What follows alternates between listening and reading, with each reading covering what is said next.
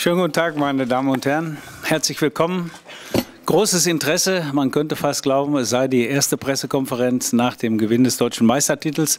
Tatsächlich ist es so. Also in diesem Sinne ein äh, herzliches Willkommen beim Deutschen Meister im Signal Iduna Park. Begrüße ganz herzlich die jungen Menschen auf der Seite von der, und das muss ich eben aufschreiben, Business and Information Technology School BITS in Iserlohn mit Professor Dr. Christoph Moss, die im Rahmen, ich nehme an, einer Universität, eines universitären Seminars heute an dieser Pressekonferenz teilnehmen. Freue mich sehr.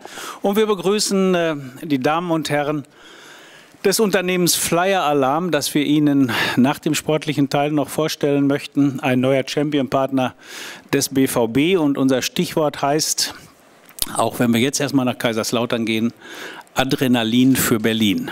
Aber dazu kommen wir später. Zunächst mal äh, darf ich Ihnen sagen, dass in Kaiserslautern die 5000 BVB-Fans, die hier die Karten über uns kaufen konnten, selbstverständlich dabei sind.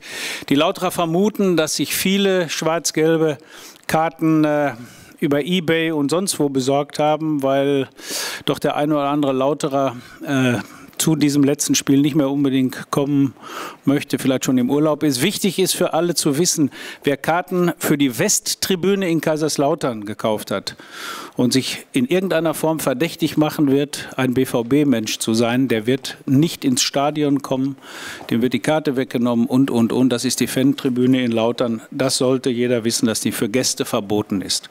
Erstmals in dieser Saison am 33. Spieltag Schiedsrichter Markus Schmidt. Viel Vorrede, aber jetzt das eigentlich Wichtige, unser Cheftrainer. Jürgen, äh, Ziele haben wir noch, obwohl wir schon Meister sind. Personelle Probleme hast du auch. Ähm, wir gehen morgen nach Kaiserslautern äh, mit der Erwartung, äh, drei Punkte mit nach Hause zu bringen, damit es nochmal ein richtig schönes letztes Spiel am 34. Spieltag wird. Ja, also alles wie immer sozusagen. Ja, jetzt. Alles wie immer. Das heißt, ähm, muss man eigentlich nicht nochmal extra formulieren, denke ich, ist allen klar, dass wir, und das ist der große Unterschied zum letzten Jahr, alle richtig unter, unter Strom stehen, dass keiner von uns das Gefühl hat, es wäre schön, wenn die Saison schon zu Ende wäre.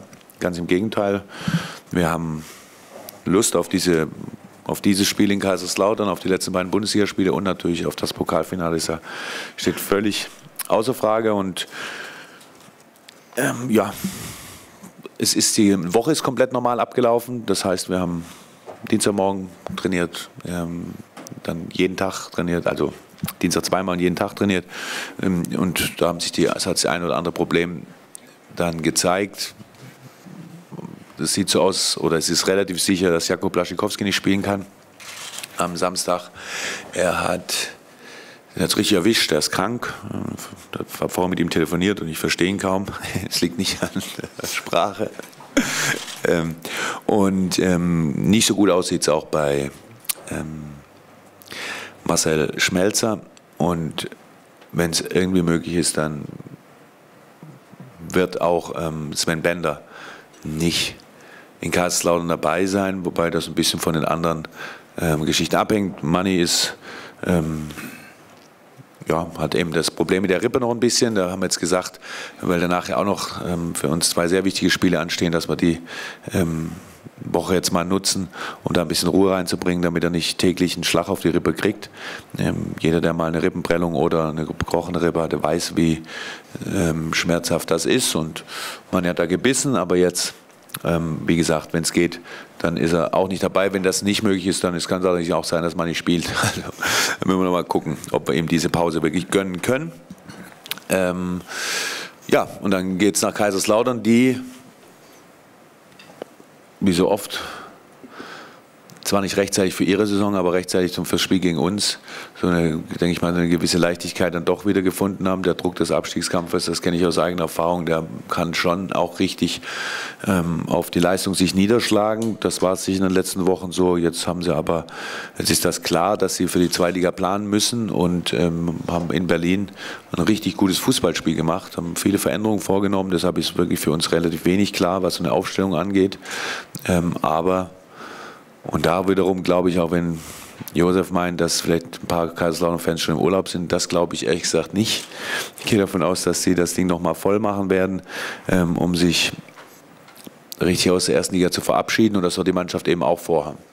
Wir sind darauf eingestellt, wir wollen diese drei Punkte haben. Wir haben im Moment noch die Chance auf eine außergewöhnliche Punktemarke, die so noch nicht viele oder vielleicht gar niemand vor uns erzielt hat. Und dazu, das geht allerdings nur, wenn wir beide letzten Bundesligaspiele gewinnen. Das wiederum geht nur, wenn wir das erste schon mal gewinnen. Und ähm, das steht nur bei Kaiserslautern an.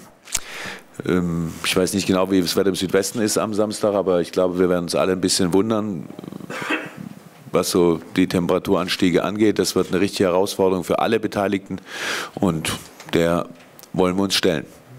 Also wir sind bereit und weit davon entfernt, irgendwie in dieser Woche noch irgendwelche Feierlichkeiten ablaufen zu lassen, die nicht mit dem Spiel in Kaiserslautern zu tun haben.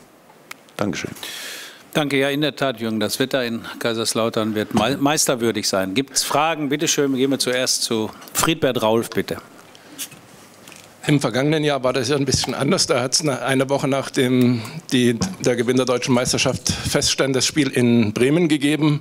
Was, hat, was ist der Unterschied zu damals? Was habt ihr diesmal anders gemacht? Und was ist ja, was anders in der Vorbereitung gelaufen ist? Das hatte ich jetzt eben gesagt, aber ähm, letztes Jahr war es so, dass wir nach, der, ähm, nach dem Nürnberg-Spiel klar, ich weiß gar nicht, wann, wann haben wir uns wieder getroffen? Mittwochs oder Donnerstags? ich weiß es nicht. Ich wollte meine Jungs nicht damit überfordern, ähm, dass ich sie zu schnell wieder einberufe. Und ähm, wäre schrecklich gewesen, wenn ich da Geldstrafen hätte ausgeben müssen, weil jemand irgendwie das Training nicht mitbekommen hat. Ähm, dementsprechend haben wir da ordentlich Spielraum gelassen. Das war dies ja völlig anders. Wir haben den Samstagabend natürlich alle in vollen Zügen genossen, das ist keine Frage. Ähm, und es war auch alles, was hier passiert ist am Samstag nach dem Spiel, im Spiel und nach dem Spiel war außergewöhnlich, aber am Montag bin ich dann das zweite Mal wach geworden ähm, und hatte nicht das Gefühl, dass irgendwas anders wäre als sonst, sondern es war tatsächlich so, dass wir ähm, uns ganz, ganz schnell wieder auf diese, auf diese Saison einlassen konnten, weil, und das hilft natürlich total, ähm, eben am Ende dieser Saison das Pokalendspiel steht. Und wenn ich mir, wenn mir letztes Jahr jemand gesagt hätte, also so in drei Wochen habt ihr nochmal ein ganz wichtiges Spiel, hätte ich gesagt, oh, ja, können wir das nicht verschieben. Ähm, dieser ist wirklich völlig anders. Wir haben das Pokal oder der Pokalwettbewerb war von vornherein unser Saisonziel Nummer eins. Ähm, und das haben wir nicht aus den Augen verloren bisher und werden nicht aus den Augen verlieren. Deshalb ist eine völlig andere Situation. Ähm, wir werden nicht. Also wir haben damals in Bremen auch alles versucht, da war es auch relativ warm auf einmal ähm, und haben wir auch alles versucht, aber da war für uns nicht mehr drin. Wir werden sehen, was in Kaiserslautern für uns drin ist, aber es wird nicht daran liegen, dass wir gedanklich noch am letzten Samstag hängen. Jens Tampier, bitte. Eins, zwei, drei, vierte Kamera von rechts. Ich denke, dass sich die meisten Fußballfans in Deutschland sowieso schon auf das Pokalendspiel gefreut haben, so oder so. Seit gestern ist die Freude vielleicht noch ein bisschen größer nach dem Spektakel gestern. Geht Ihnen das auch so, dass es gestern noch mal so ein bisschen mehr, noch mal so einen kleinen Takt mehr gegeben hat? Nee, also es hat mit dem Pokalspiel nichts zu tun, aber ich habe mich gestern Abend gefreut und ähm, kann es an dieser Stelle gerne auch oder die, die Chance wahrnehmen, ähm, Bayern München wirklich ganz herzlich zu gratulieren zu einer zu einer, zu einer fantastischen Leistung in Champions League, ins Champions League Finale eingezogen zu sein und das auch völlig verdient. Ähm, fand ich, war gestern Abend wirklich großes Spektakel, was da abgelaufen ist, in einem sehr schweren Spiel, eine ganz, ganz reife Leistung von Bayern München. Und, ähm, aber hat natürlich für die ähm, fürs DFB-Pokalfinale, glaube ich, keine wahnsinnig große Auswirkung, zumindest nicht was von unserer Seite aus. Ähm, unsere Saison endet nach diesem Spiel, die der Bayern nicht. Das ist das Einzige, was man vielleicht dazu sagen kann. Hätten sie gestern Abend nicht, wären sie nicht weitergekommen, wäre für beide vorbei gewesen. Das ist der einzige Unterschied. Ähm, aber sollte es irgendjemand geben, der sich jetzt noch mehr aufs Pokalfinale freut, sei ihm gegönnt. Aber ich habe mich vorher schon sehr drauf gefreut, ehrlich gesagt.